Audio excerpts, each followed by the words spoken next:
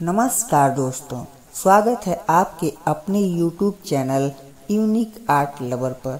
अगर आप लोग चैनल पर नए हैं तो सब्सक्राइब ज़रूर करें और साथ में बेल घंटी को अवश्य दबाएँ, जिससे वीडियो अपलोड होने पर नोटिफिकेशन सबसे पहले आप तक पहुँचे। एलोरा की गुफाएँ। ये गुफाएँ महाराष्ट्र में अजंता की गुफाओं से लगभग 100 किलोमीटर दूर स्थित है।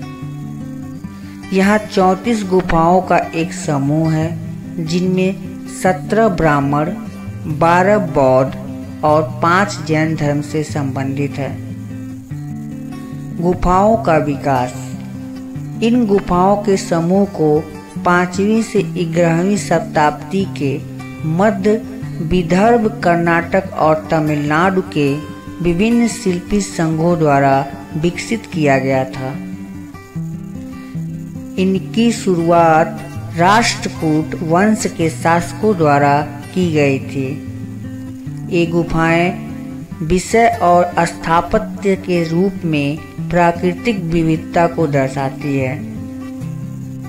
इन गुफाओं को वर्ष उन्नीस सौ तिरासी में यूनेस्को ने विश्व विरासत स्थल घोषित किया था।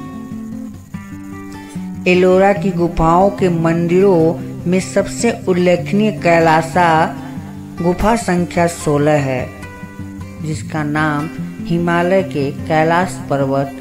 हिंदू मान्यताओं के अनुसार भगवान शिव का निवास स्थान के नाम पर रखा गया है। एलोरा की बौद्ध, ब्राह्मण और जैन गुफाएँ मध्य भारत के पैठन से उज्जैन जाने वाले व्यापारिक मार्ग पर बनाई गई थी।